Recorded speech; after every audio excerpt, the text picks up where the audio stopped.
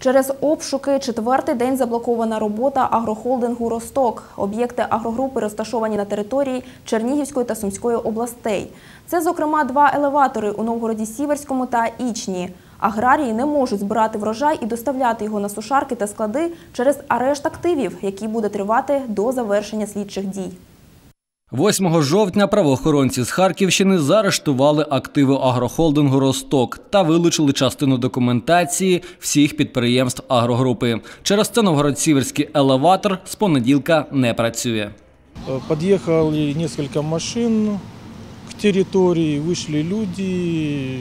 Пока вместе они просто ходили возле территории, потом э, начали подходить к охранникам, представляться сотрудниками СБУ, говорить о том, что у них есть ухвала про обшук э, территории Новгород-Северского элеватора. Слідчий орган Харківської е, СБУ службами СБУ опломбований в'їзні і виїзні ворота елеватора, опечатані всі склади, всі приміщення, і елеватор не може виконувати свою технологічну функцію, тобто приймати зерно, сушити зерно і відповідно відвантажувати зерно. Працівники елеватору на роботу виходять, але на свої робочі місця потрапити не можуть.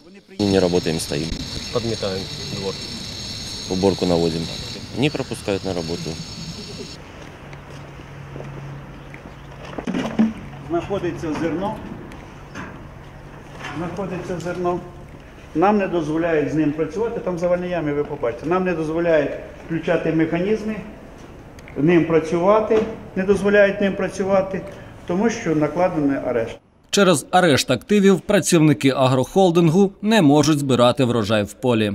Арештовані всі поля, е, вся техніка, тобто люди сьогодні не працюють, е, урожай сьогодні не збирається, урожай на десятки мільйонів доларів сьогодні стоїть в полях урожай, який сьогодні треба збирати, він гине. Співробітники правоохоронних органів чергують на прохідні підприємства у цих автомобілях. Спілкуватись на камеру не хочуть. Телефоном ми зв'язались зі слідчим, який веде справу. Розголошувати своє прізвище він дозволу не дав.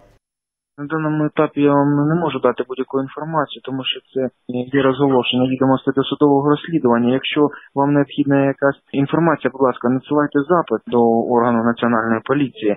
Журналісти ЮА Чернігів відправили запит до Нацполіції Харківської області. В ухвалі з єдиного державного реєстру судових рішень йдеться, що тепер проводиться розслідування за ознаками кримінального правопорушення, а саме шахрайство у особливо великих розмірах. Колишній бізнес-партнер звинувачує керівника агрохолдингу Росток у привласненні ним грошей у сумі понад 21 мільйон доларів. Олексій Коцепчук, Євген Козинець. Новини на ЮА Чернігів.